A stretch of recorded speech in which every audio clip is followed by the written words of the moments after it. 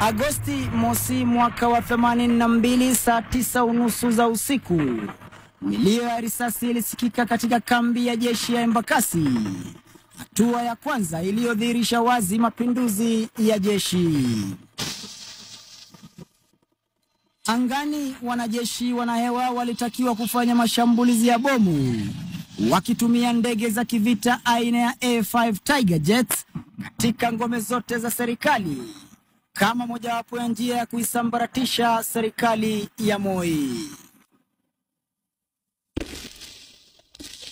Wanaodaiwa kuongoza operesheni hiyo ni Ezekayo Chuka, Sajenti Pancras Oteo Okumu, Walter Ojode, Makoplo, Ugidi Obuon, Orwa Hongo, Mirasi Odawa, Bramwell Njeni Njeremani, Okoth Otila, Robert Ndege na Odemba Otieno.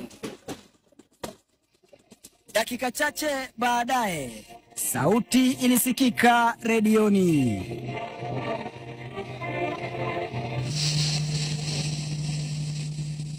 This is the voice of Kenya, Nairobi. Time now is 12 minutes past 6. You are hereby informed that everybody is requested to stay at home. There should be no movement in town. The government has now been taken over by the military until further notice. There should be no movement of persons or vehicles from one place to another.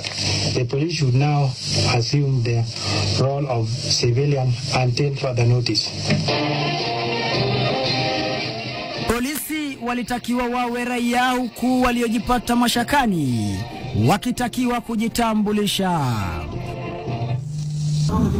Toka nyuma, kuja kuja hapa kwa barabara, karibu kuja mbele. Hapana. Toka. Toka.